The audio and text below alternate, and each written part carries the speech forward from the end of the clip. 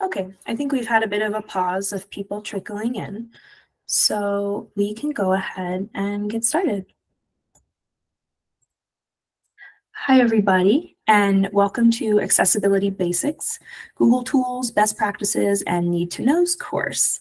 My name is Lindsay Joseph, and I'm the Digital Accessibility Specialist in the Executive Director's Office for the Colorado Department of Public Safety, or CDPS for short. For your awareness, this session is being recorded and will be posted as part of this course in the SABA training platform in the next one to two weeks. In case you want to follow along now, the slide deck is in the chat. And for your reference, the link to, to today's demonstration Google Doc is also in the chat. That won't be relevant yet, but we'll start working on it shortly. A few norms before we get started. First, so you're aware, any of our participants using assistive technologies will have the live chats and reactions read to them as they come in. So this is just a friendly reminder to be aware of when and what you're posting in the chat during the training. Next, I want to make you aware of the closed captioning feature on the bottom toolbar of your screen, which you can toggle on and off if you want to see captions. And finally, if you have questions during the presentation, please raise your virtual hand We'll keep an eye on the queue to facilitate who's next to speak. And when it's your turn, we would love for you to state your name and the agency you're with. Today's session is meant to be a broad overview of how to make Google content more accessible. It was designed with CDPS employees in mind. However, this content applies really to any state employees who create, edit, own, or distribute information using the Google platform. Our agenda is going to start with a brief overview of why we're learning about digital accessibility. Then I'll outline some commonalities that Google Docs, slides, and Sheets all share. I'll then demonstrate steps you can take to make your Google content more accessible. And finally, at the end of our session, I'll share a list of related trainings and resources with you and leave the rest of our time open for your questions. You may have noticed there are some Google tools that we are not covering today. We will not focus on Google Sheets today, mainly because it's not as commonly used as these other tools. But because it's another authoring tool used in the Google platform, we've provided some extra slide content with general best practices for creating accessible Google Sheets. Those slides are hidden from today's presentation, but they're viewable if you open the slide deck yourself. Finally, we will not cover Google Meet at all today since that's a video communication service and not an authoring tool, the accessibility practices you want to focus on are pretty different from the ones we want to show you today. First, what is this about and why? As many of you know, House Bill 211110 is Colorado's new accessibility law that goes into effect on July 1st of this year. The law applies to all Colorado government entities and mandates that all of our digital content, like websites, electronic documents, and applications, need to comply with state accessibility standards. Beginning July 1st, noncompliance with the House bill could result in monetary damages. But consequences aside, the passage of this House bill shows how important it is that everyone in society have equal access to the resources and services they need, especially those that are online. And in CDPS, that means that our ability to deliver critical public safety services, many of which are electronic, depends on whether people internal and external to our organization can access our digital content to begin with. Something we hope you take away from today is that accessibility practices not only improve accessibility, but they're just good design practices that make your content more usable for everyone. One example is using accessible document structure, like built-in heading styles to organize your document into sections and subsections. It allows your users to quickly navigate to the content that they need. And this slide is just a reminder that digital accessibility doesn't only benefit screen reader users, but also people using other technologies like screen magnification, braille embossers, and speech recognition software. And keep in mind that some of these technologies are so helpful that they're commonly used by lots of people because they're useful for lots of different needs. Text to speech software, for example, is widely used assistive technology that allows someone with a reading disability to read digital content, but also a convenient option for people who prefer to have their content read to them, whether that's an ebook, a document, either emails, or something else. Starting off with Google Docs, Slides, and Sheets, I wanted to share some features that these authoring tools all have in common. Please keep in mind the rest of the slide deck has lots of great information about Google tools, but we've skipped many of those slides for today's presentation. Our hope is that you'll reference the slide deck after the course to find more detailed guidance on the accessibility techniques that you'll see today.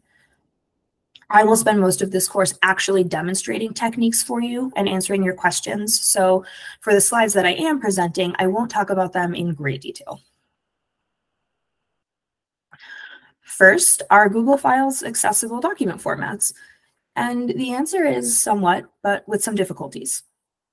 Good news is that Google Docs, Slides, and Sheets offer lots of built-in tools that let you format for accessibility. So when you're ready to share content, for example, you can use their publish to web feature, which turns your content into a single scrollable HTML page that will display better on a mobile device and will be much easier to read for assistive technology users. On the other hand, Google Docs, Slides, and Sheets lack some important accessibility functions. For example, they don't have a built-in accessibility checker, and there'll be more on that later. Uh, you also can't convert Google Files to accessible PDFs because the conversion process itself strips the accessibility features that you might have added. So just keep these in mind when you create content in Google so that you can be aware of these gaps and other ways that you can address them. For the most part, if you create content in Google, it's usually better to download it as a Microsoft Office file if you plan on sharing it publicly. This is because you can use Microsoft's accessibility checker to find issues and make changes, and if needed, convert your Microsoft file to an accessible PDF. Moving on to templates, you can make your own with just about any authoring tool, including Google Tools. So this is a reminder that templates are a great way to save you time when you're making content. If there's a common document format you use a lot in your work or one that your agency uses a lot, then creating an accessible template is a great way to make sure your content has some basic accessibility formatting every time. Now I'll move into the demonstration portion of our training. Again, the demonstration Google Doc I'm using is linked in the chat. If you want to follow along with me, um, click the link and make your own copy so that your edits don't end up on the original. I'll show you how to do this, um, but you can make a copy by opening the Google Doc, going to File in the upper menu bar, and then select Make a Copy. And as a reminder, I'll be showing you some actual steps you can take to improve accessibility of your Google Docs, Google Slides, and emails. Starting with Google Docs, which is by far the most used Google tool in CDPS, I'll show you some steps you can take to make your content more accessible and more readable for your audience. Most of today's demonstration will be in Google Docs, since a lot of these strategies are done in similar ways, no matter what Google tool you're using. Today, in the Google Doc, I'll show you how to create accessible headings, spacing, hyperlink text, alternative text, and color contrast. And for future reference, this Google Doc also has written instructions for how to perform each of these techniques yourself, plus some practice examples and other helpful tips. So let's go ahead and open the Google Doc. So this is the demo Google Doc that we're supposed to make a copy of. So like I said, you'll go to File, click Make a Copy, save it wherever you like in your Google Drive, and your copy will open. There we go. All right. We're going to start with the heading section. I'm just going to scroll down to the practice area since that's where we'll be focusing today. So I have our demonstration Google Doc open, and I'll start by showing you how to apply built-in headings. First, a few tips for applying heading styles in Google Docs. Avoid using Google's title and subtitle headings since they're not universally recognized headings. Instead, start with a standard heading one for your title, heading two for major sections, heading three for smaller subsections, and so on.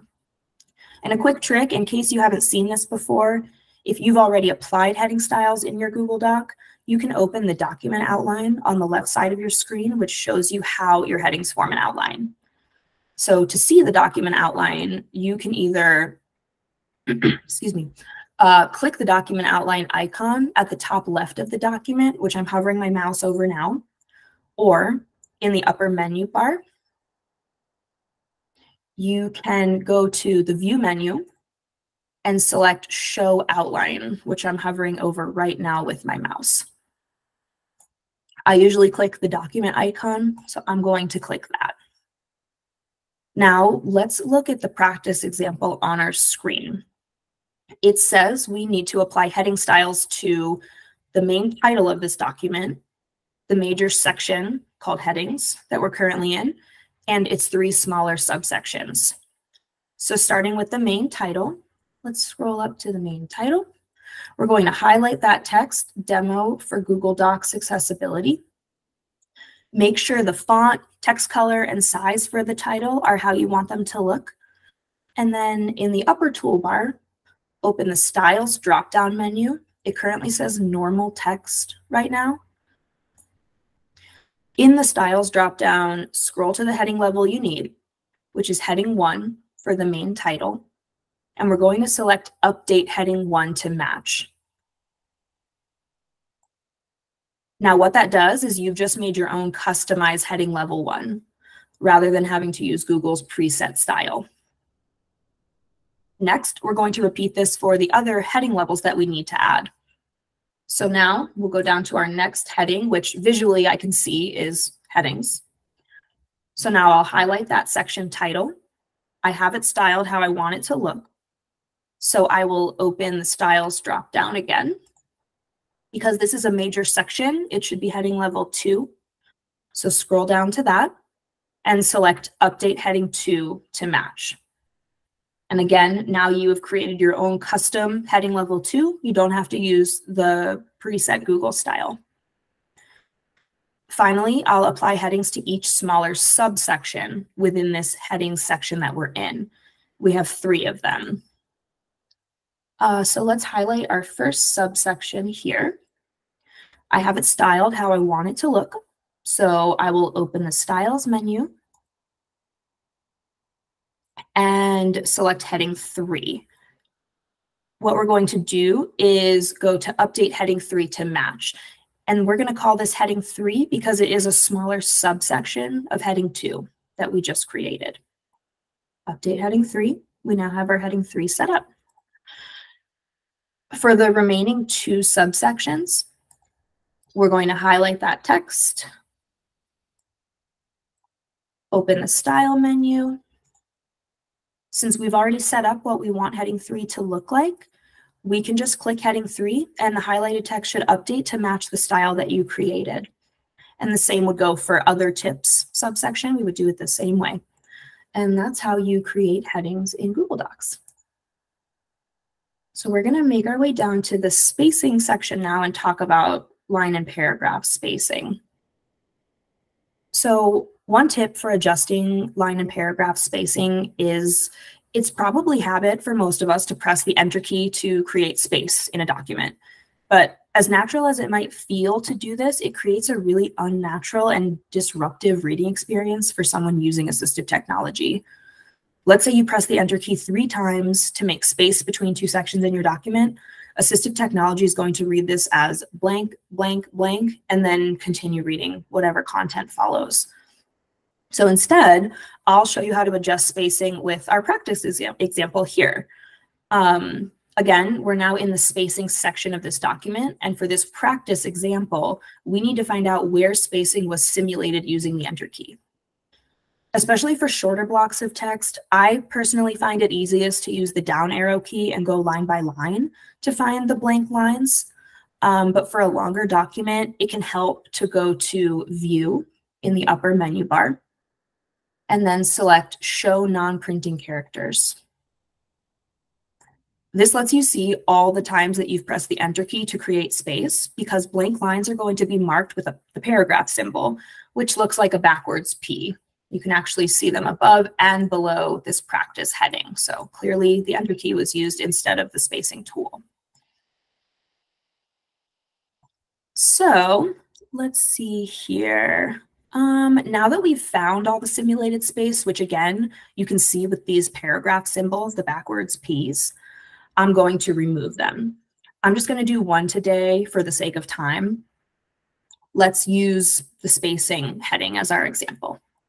Um, I'm going to delete this space underneath it because it wasn't created correctly. So we'll remove that. Um, I've deleted my simulated space, and in its place, I'm going to use Google Docs line and paragraph spacing tool. So first, I'm going to highlight the line of text that I want to change spacing for. I can also just click so that my cursor is somewhere in this line of text that I want to change. So I'll show you that as well. Um, and then in the upper toolbar, you're going to select the line and paragraph spacing icon it looks like a double arrow pointing up and down, and I have my mouse hovering over it right now. So let's click on that. I want to select add space after paragraph, meaning I want to add space between this heading and the content that starts below it. We'll select add space after paragraph. If I don't like the amount of space that Google's preset functions add, I can customize how much space I want between things by going back to the spacing tool and selecting custom spacing. Before I move on, I think I heard a hand go up. Hey, yeah, it's Ingrid. I'm sorry to be a goober on this. How no, do you get how do you get the I mean, so what you're saying is the little blue paragraph symbols show that it's not appropriately accessible. Is that what you're saying? The little blue paragraph symbol is just going to show you that you've pressed enter to create right. space, which is something that you want to avoid. So it's just sort of a visual cue. If you're scanning your document, you can okay. know kind of right away that the blank spaces were created in a way that isn't the most accessible. Okay, it's not a it's not a death knell for accessibility, but it's not the no. best practice. Okay. Right, exactly. Yeah, we're we're just here to try and make documents easier for people to read so it's not you know, the end all be all of accessibility, but it's something that is really helpful to just make it more usable. Great question. Um, so what I was going to quickly show you is if I don't like the amount of spacing that Google's preset functions create, I can just go back into this spacing menu, go to custom spacing, and I can just experiment with different numbers to get the amount of spacing that I want.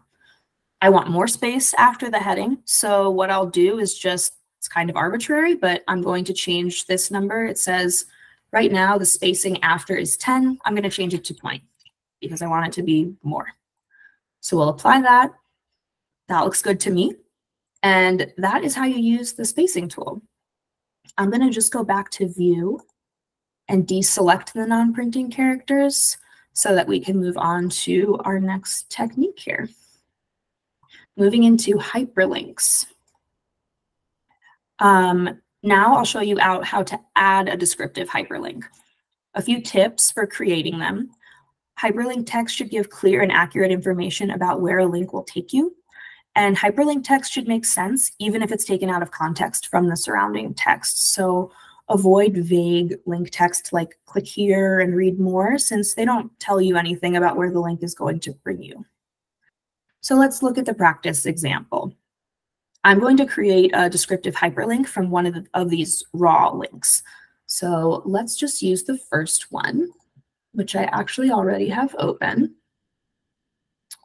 I'm following the link to see where it takes me so that I can make sure to describe it accurately in my hyperlink text.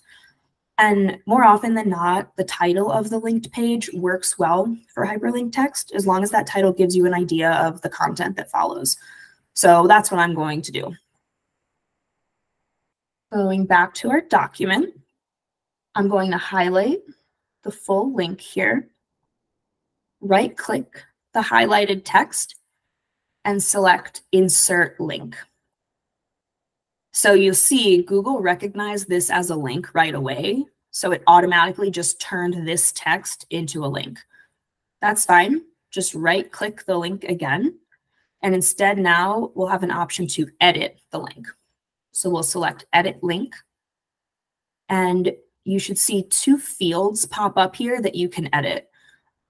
The top field is the hyperlink text that will display in your document, and the lower field is the actual raw link. So in the top field, enter the hyperlink text that you want displayed. I want to use the title of this web page, which is how to colon accessible website content. And then select apply. And that is how you add hyperlink text in Google Docs. Next, I am going to show you um, how to add an image description. Um, gonna... Lindsay, oh, we yeah? had a question in the chat before you yeah. go on. And sure. actually, Sarah, you read my mind there too. So mm-hmm. Sarah is asking, can you share with folks how this page is read using a screen reader extension?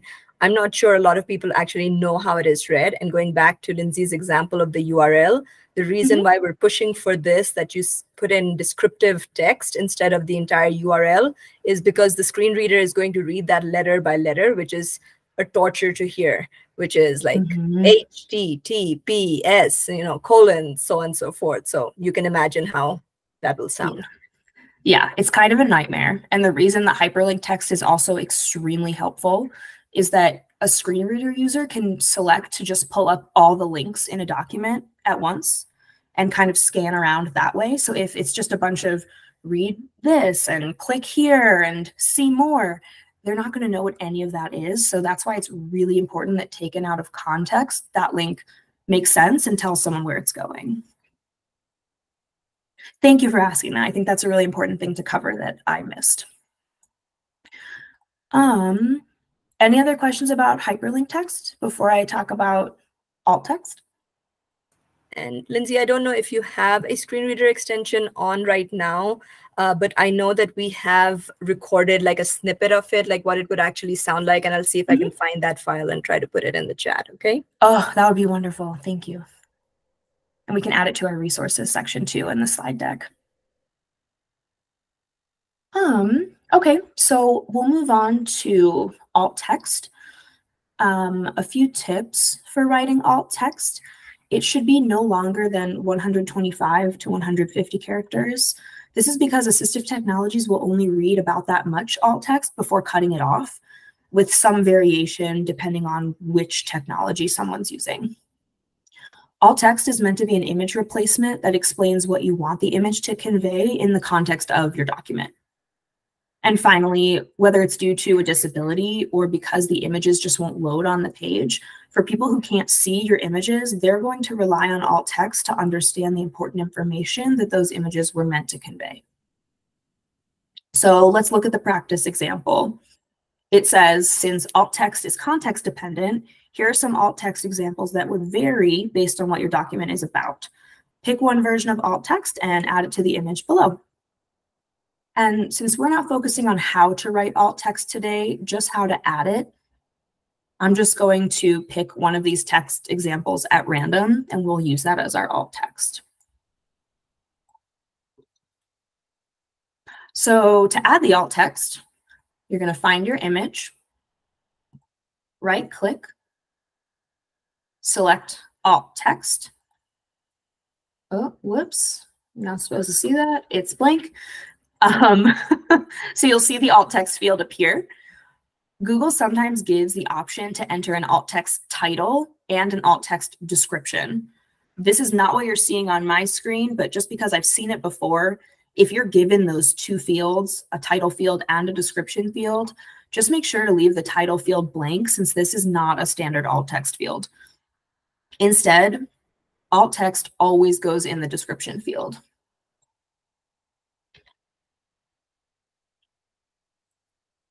Um, and then when you're done, you can close this larger image options menu that appeared to put in the alt text. and it will save your alt text that way. So close that up. Uh, before I move on, was there a question in the chat that we should address right now? Um, no, Lindsay, I tried to put in the sample recording. Um, hopefully people can access it, but if they can, I'll try to find a workaround.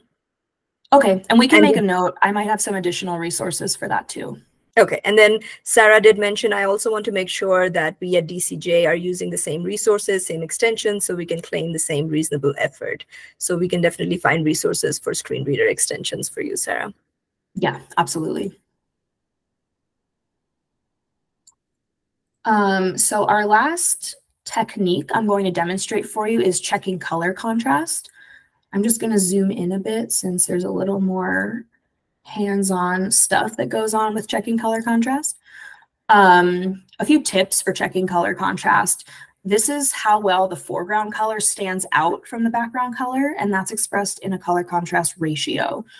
And for state agencies to be in compliance for accessibility, color contrast ratios for digital text and graphics need to meet success criteria that are outlined in the Web Content Accessibility Guidelines, also known as WCAG, specifically conformance level AA, which is more or less considered mid-level conformance. A being the lowest, double A being middle, AAA being highest, which is not what we need to be compliant at the state level. So let's look at the practice example. I'm going to check one of these text colors to see how well it stands out against the white background and whether the contrast ratio meets WCAG AA criteria. Now, there are different tools out there to check color contrast ratios, and today we'll be using WebAIM's color contrast checking tool. It's a web-based tool that you can use in your internet browser, and it's also recommended by OIT. So I've got that open. Let's expand it a bit so you can see. So I now have the color contrast tool open in my Google Chrome browser. For the color combination that you need to check, there's one area to enter the foreground color and another area to enter the background color. I'll get the demo document and the color contrast checker up on the screen for you so that you can see what I'm about to do here.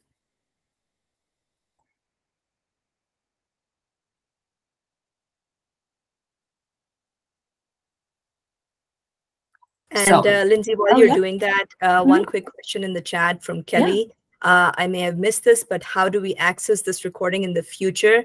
Uh, I'm uh, assuming you're access you're talking about the recording of this uh, entire training, right, Kelly? and we will be putting that up as part of the Saba course. So the recording will be part of that course, and we'll share the link to that in the end. There might be a little bit of a delay getting the recording out just because we'll need to check um, the transcript and just make sure it's accurate, but we'll right. make sure that's up in the next roughly one to two weeks in the Saba course. Okay. Are you okay to take one question from Sarah, Lindsay? Yeah, of course. Go for it, Sarah. Uh, thank you, Lindsay. Um, I just, I know I brought it up before at these trainings, but I want to say it one more time. If this is going to be available in Saba, why is it not required um, for all staff to take this because I do think these basics are really, really important, especially for staff in my current unit. Um, mm-hmm. It just it seems to fall a lot on the admins to double check these things, and we've said even in your other training that this kind of starts at inception. It's mm-hmm. easiest mm-hmm. to make sure that it's accessible from the beginning. So I just want to advocate again, please make this required because I can't do it all. Sarah, really, you loud and clear. To, Go ahead, Corey. It's up to divisions to make it required or not. Not every single employee is doing documents. Um, you can imagine troopers, you know, they have a lot less interaction with documents and things of this nature. So we left it up to divisions. So that's why EDO is not making it mandatory. It's really up to the divisions and the supervisors to make that call. Okay. And we'll make sure that these trainings are easy to find in SABA. I think every single one starts with the title CDPS accessibility. And you can also filter by category accessibility so that if you want to collect, you know, everything accessibility related to make some or all of them required, that's probably going to be the best way to find everything you need. And one more quick note, I know, Carolyn, you mentioned that the link sometimes shows up on the meeting calendar. Um, the one we will upload on Saba will be uh, through YouTube so that anyone who needs to put on subtitles or captions on, then they have that uh, capability. So uh, just a quick note on that. So that's why it may take us a little bit of time to upload the recordings. Thank you. Um, all right. I will continue on with our color contrast checking journey. Um, to put your colors into this checker, the WebAIM tool gives you the option to enter the color's numerical hex value or to find the color using their color picker. I never use the hex value field. I find it really tedious and I don't totally get it. So we're going to go into the color picker. I want to make sure that I pull the exact color that I used in my document. So I recommend using the eyedropper tool in the color picker. It looks like an eyedropper icon, and I have my mouse circling around it in case that helps a little bit to find it. Now I'm going to check my red font color against the white background. My text color is the foreground, and we have the foreground color picking tool open already. So when I select the eyedropper tool, a circle with a target in the center appears. I'm going to use my mouse to hover over one of my red letters. Ooh, there we go. Until I get the target over one of the saturated areas of color. Then I'm going to click to set that color as the foreground in the contrast checker. So you can see now the color has updated to be that exact shade of red that I use in my document. Our background color is white, which is already selected by default in the color contrast checker since that is the most common background color. I checked ahead of time with the eyedropper and I confirmed that this is the exact shade of white in our document already. So we will just move on and not enter that in right now. But once the foreground and background colors are entered, the checker calculates the color contrast ratio, which appears just under the foreground and background fields we used. So it calculated a color contrast ratio of 3.99 to 1. But what's even more helpful about this tool is that underneath the contrast ratio, the tool will tell you whether that ratio passes or fails WCAG AA criteria. Um, so this part of the checker is divided into three sections, normal text, large text, and graphics. And this is because WCAG has different contrast ratio criteria depending on which of these elements you're testing. For normal and large text, the tool provides examples uh, to show you what normal and large text can look like. So this is the normal text. I'm highlighting the large text now underneath it. The tool also defines these elements in writing right on their website for you. But for the sake of today's demonstration, I'll also tell you what these definitions are. So normal text is non-bolded text, size 14 or smaller. Large text is non-bolded text, size 18 or larger, or bolded text, size 14 or larger. And finally, graphics include any non-text content like images, icons, and borders. I know that I used size 12 font in my document, so I'm going to focus on the results in the normal text section of the checker. The checker says that normal sized red text on a white background fails WCAG AA criteria. So I'll need to adjust the foreground or background colors to get the ratio that I need. And since I know I want to use a white background, I'm going to play with the foreground text color. I can do this in the checker's foreground field, using their luminance slider until I reach a, a passing color contrast ratio. So I can just slide it down to make it darker. And you'll see this shade of red appears to pass WCAG AA standards for normal text. Um, another way you can find a more appropriate color is just going back to your document and experimenting with other text colors and then checking those color combinations again in the checker. And as another option, if using colored text is just for visual appeal, I might sacrifice color just to make sure that my document is more accessible and usable for my audience. And for the most part, the simpler you can make your documents, the fewer steps you'll need to take to make them accessible. And that really goes for any best practice we've gone through today, not just for color. So that's the end of our demonstration. I'm just going to briefly bring us back to the slide deck and conclude with a few best practices for Google Slides and for Gmail. So let's open this back up here.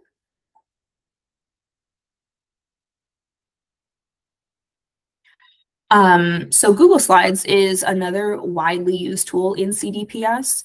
There are a few best practices unique to Google Slides that I wanted to highlight for you. And for today, I'll focus on the topic of slide layouts and titles. as you create slides, make sure to use Google's built-in slide layouts rather than simulating your own.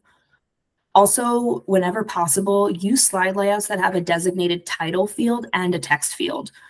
This is because it's easier for users to follow the content of each slide and allows assistive technology users to tell the difference between slide titles and slide content. Um, Built-in layouts with titles and text fields also tell assistive technologies the correct order to read your content in. Uh, before I continue, I think I might have seen something pop up in the chat. Is that anything we should address right now, Lubna? Uh, yeah, we got a question from Jay that um, what requirements and best practices are there while inserting videos into presentations that are not accessible? I will tell you, I don't have the answer off the top of my head, but I can get you resources for it. if Lubna, you don't mind taking a note down, and I'm I'm more than happy to get some of that for you.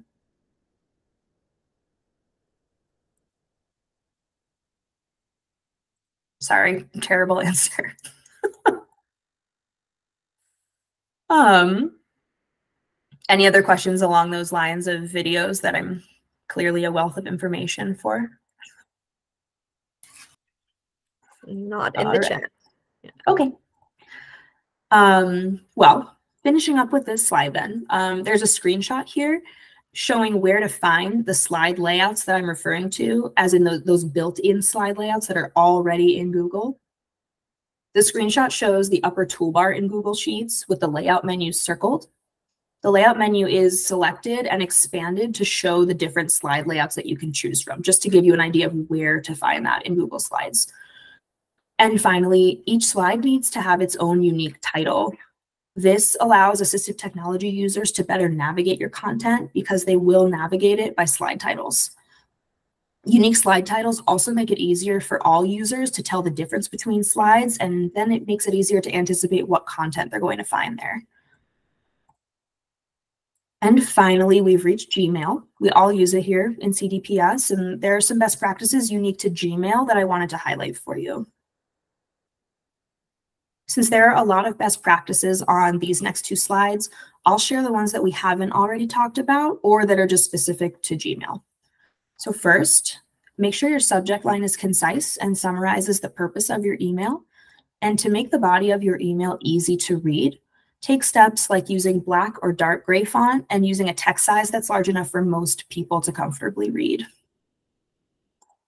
I believe I saw a question pop up in the chat. Anything we should address right now? Um, yeah, from Jason. How do we apply the color to be in compliance using that color tool? So that is something I tried to figure out. I am not certain of the method or whether a method exists to do that. I prefer to just play around with color in my authoring tool because I, right at this moment, I don't know a way to match that exact color. So I either just find something that looks similar in the place where I'm creating the document or I just get rid of color entirely. Um, also, Jason, are you talking more about branding guides? I guess I just wanted to know since we're you, we have that on there, like you know, um, we don't want to there to be an accessibility issue. Is it just better to not use color, or like you know, when you do that on there, there's there's no button that says like apply or find you know the color that matches that in order for that to you know do what you needed to do. So I, I guess that's my point is like, yeah, you can use that to measure it, but like, how are you supposed to convert it to that? My only for thought the, for oh, the whole point of accessibility, you know. Yeah. So I think I misspoke. With the color, whatever color happens to meet the contrast ratio, it's a little bit technical, but because, like I said, in that checker, you can input color by doing um, that hex numerical value. There's also another numerical way you can enter the color. So you can find the exact properties of that color those numerical values, and you can usually enter those into your authoring tool and get that exact color. So it's not the smoothest way, but it is a way to do it and create that exact color. Yeah, I was going to say the same thing. Like if you want to comply with branding guidelines, use that hex number so then you'll get the exact match. Um, also, I do want to put in just one little note here. we're not saying that you avoid color entirely because we have mm -hmm. to make sure that we're making uh, content for everyone, all users, right? And sometimes you do have to use color. Just use it appropriately, making sure, like uh, Lindsay explained, using that contrast feature, uh, and also ensure that you that color alone is not the only way that we are conveying meaning. So if you have another way that you are conveying the same information, um, that is also great for for um, um, users who cannot distinguish between color contrast even right? So um, so just bear that in mind and the last thing I would add to that is in this slide deck, there are some more detailed slides that go into use of color and color contrast. So I would definitely check those out as well. And if you feel like you still need additional resources, just reach out to me or our team, and I'm we're happy to provide more detailed information on that.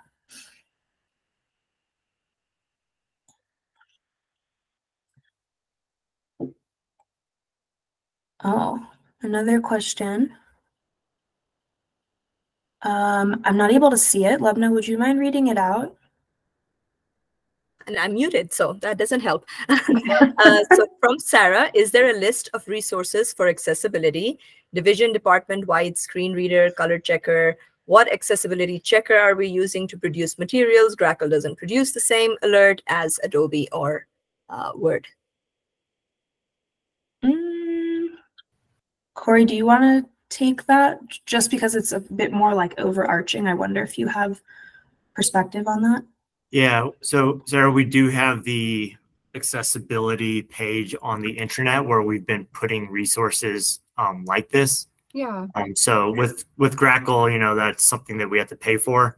So mm-hmm. it was kind of, you know, there's some tools that are super helpful, like WebAIM, um, some that are, you know, costly to use. So okay, uh, I would just, check that one, and I'm gonna drop a link to it. But yeah, no, like master list of everything for the state or anything like that. I would say. Okay. Um, I was reading through that the bill the other day. I'm just trying to make sure I understand what is being asked of me. And I was just, it seems mostly there has to be reasonable effort made. So that's why I just want to see if we're trying to be like consistent as a division or department um, that we're using those same resources because obviously I'm lucky and I have a Grackle profile. Others do not. So maybe I should not be I don't I don't know what trumps the other. I just want to make sure if we're producing something in a PDF, all I need to do is run it through the Adobe checker and I should claim that I did reasonable effort. I don't know. Um, I was just wondering if there is um, consistency throughout the division or department. Yeah. And oh, Chris just mentioned mm-hmm. that employee ex expectations will be in the accessibility policy coming in late spring as well. Thank you so much for Chris. Yes, we've been working hard on that. Um, I will go back to saying that a lot of this is best practices. Um, and Lindsay did a great presentation on the intro to PDF section as well, where she emphasized that yes, running it through the checker for Adobe is part of it, but manual it comes down to manual testing as well. So the more fluent you become um, it'll become easier for you to make more accessible documents and content. Um, mm -hmm. of course it's going to be a moving target and 100% compliance is going to be practically impossible right? Because the the guidelines are going to keep changing and we're going to be expecting more and more. Um, but uh, in the end this is why we're doing the trainings is that this becomes um, daily practice more than just a one-time thing if yeah. that makes sense. Yeah definitely. I have to be honest i'm not worried about myself because i am doing all of these things. I've attended all of these trainings. Even before this i thought it was an important aspect of the job. There are just 22 other people in my unit that have not been able to attend these trainings have this information so it does come down to most of us admins from the conversations that I've had. So that's why I just want to make sure that we're at least a little bit consistent.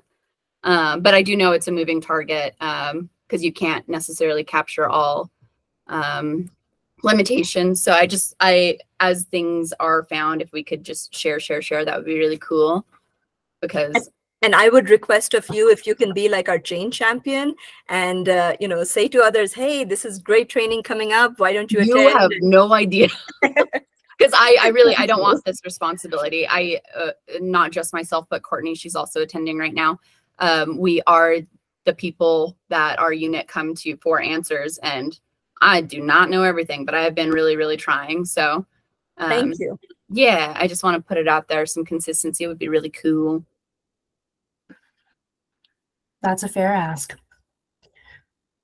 Um, I think at this point, since we close at 1030 on this, um, I don't have anything super novel to share with these slides. They're pretty spelled out. Um, basically just some things to keep in mind for those who can't see your emails. Um, try to use words instead of emojis so that someone's not missing out on the tone that you're trying to convey. Um, using bold text is fine if you want to emphasize text. Just know that a screen reader or other assistive technology won't necessarily tell the user, you know, hey, this is bold text, pay attention. So you might want to alert your users of something important coming up by saying important exclamation point in bold. Um, and finally, just a note that you, if you have any graphics in your emails, in the body of your email, make sure to add alt text. And if it's in the signature, if you're in your email signature, excuse me, add alt text to those as well. And please check out the slide deck, which will actually tell you how to add alt text in the email body and in your email signature. Um, we are wrapping up, so just a few housekeeping things. Make sure to register in SABA for this course if you haven't already. Take the short quiz so that you'll get some credit. Um, lastly, we have a lot of resources here. There are still more than this, if you can believe, but this is a lot of them, different checklists, how-to guides, an accessible Google Doc template.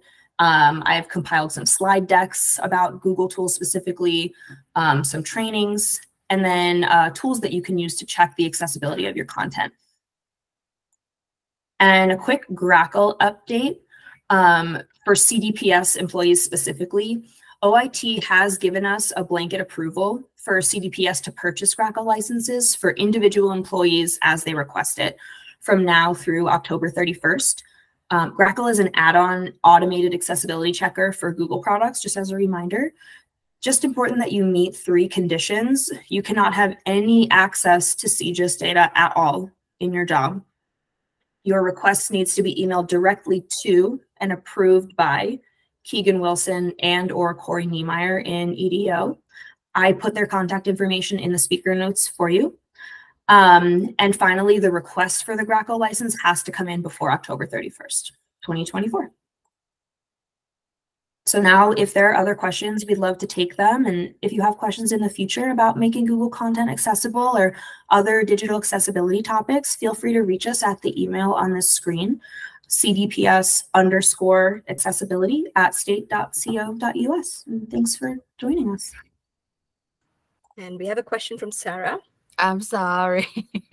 I obviously um, care about this. Um, I was just wondering, I, I know we might be working on an internal checklist um, for like, hey, did you check all these things before you produce the material?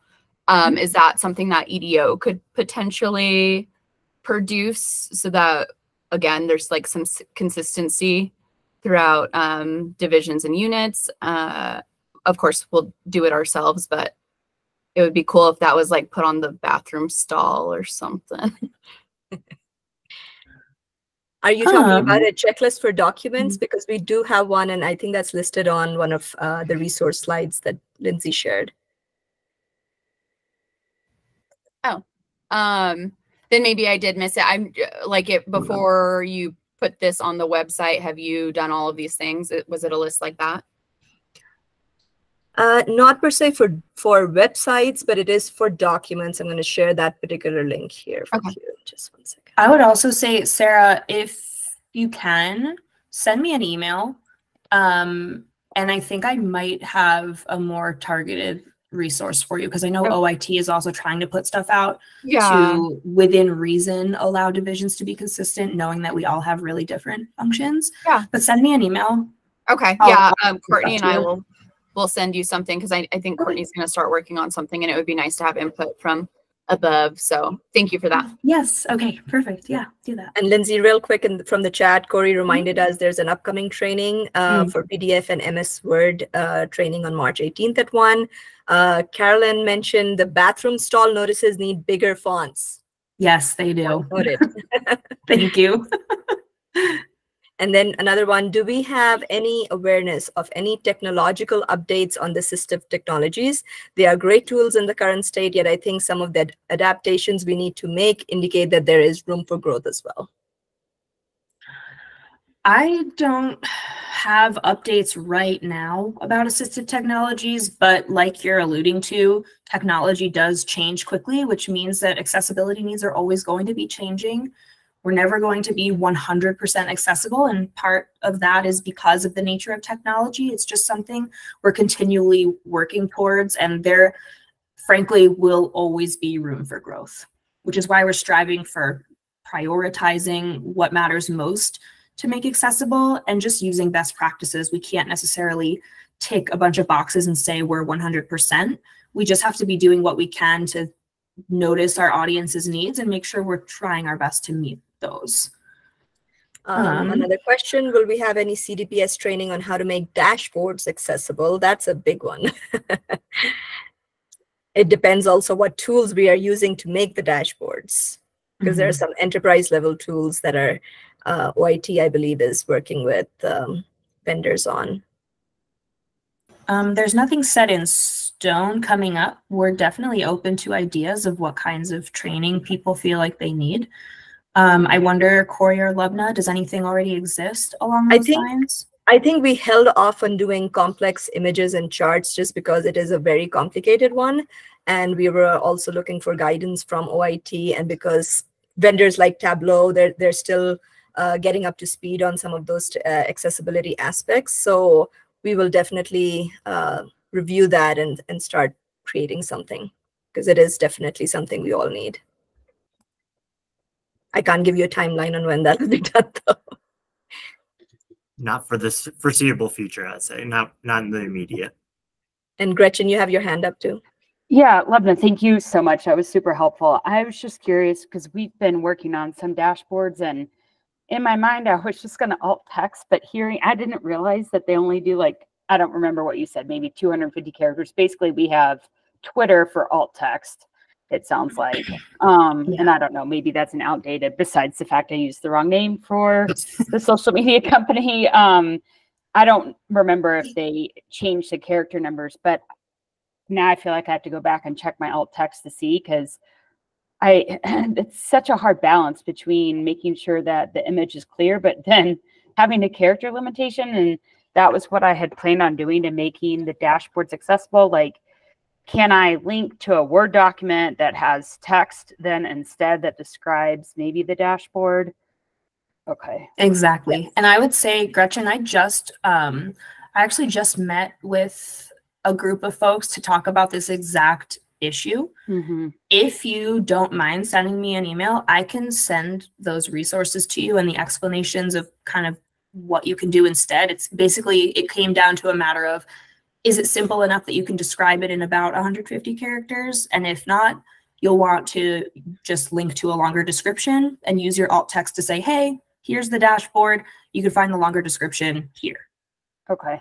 Yeah, I think like some of it's interactive. And so I'm trying to figure out, you know, like, for example, an exit survey, being able to click on a classification to see how those people have responded and it's trying to figure out it's essentially it's like tableau how lubna was talking about how tableau mm-hmm. is but this is on looker studio and i i don't know i'm i'm not super afflu- like fluent in it so maybe i think it's the user knows that it's an inferior program but it's also maybe it's just because i don't know what i'm doing entirely with it and i'm like stumbling into answers so i don't you know it's just trying to figure out how we make it accessible. And I know people don't have to self disclose, but like if we can put things on there like contact Gretchen to walk you through, you know, I don't know.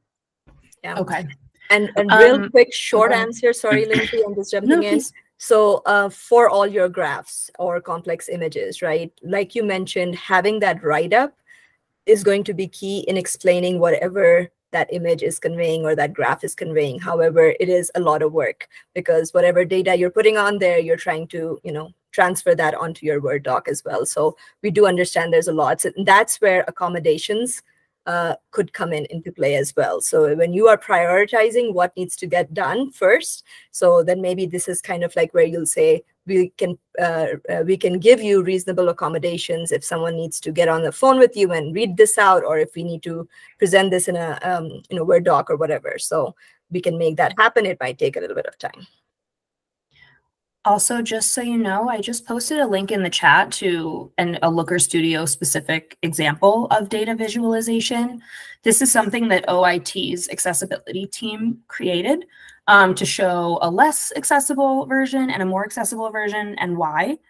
Um, I would definitely encourage you all to check out that Empathy Lab um, site that they've created. They do the same kind of concept for forms, here's a less accessible, here's a more accessible, documents, here's a less accessible, more accessible, etc.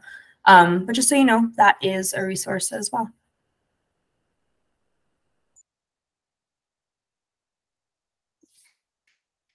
Any other burning questions? And if not, you can always find us in our office hours. Thursdays, 3.05 to 3.45. Is that right? Yep. You can reach me personally. You can reach um, CDPS underscore accessibility. Um, but yeah, we're here. We're available and happy to help. Um, just let us know what questions you have later, if not right now. Ah, thanks, Corey. He just posted the link to um, office hours in the chat.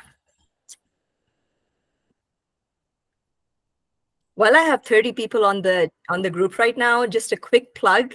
Since we are nearing that July 1st deadline, I would highly encourage everyone to just kind of start inventorying your documents, figuring out what you work with or your team works with, and then start going through and seeing uh, are those accessible or not. So just a quick plug there and reach uh, out to us. We can help um, with some templates on those inventories as well.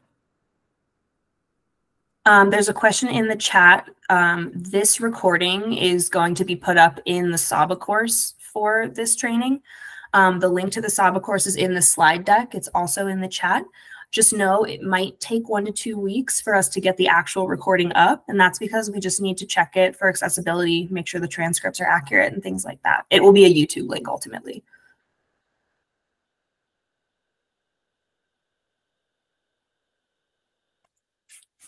Yes, Helena, I'm going to post the link just, or did someone already do that? Wait.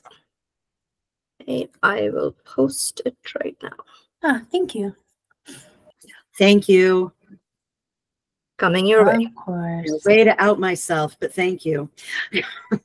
hey, no problem. People have people have engagements. It's all good.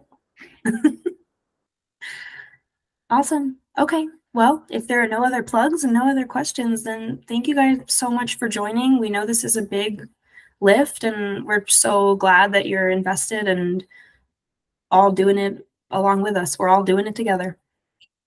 Have a great rest of your day.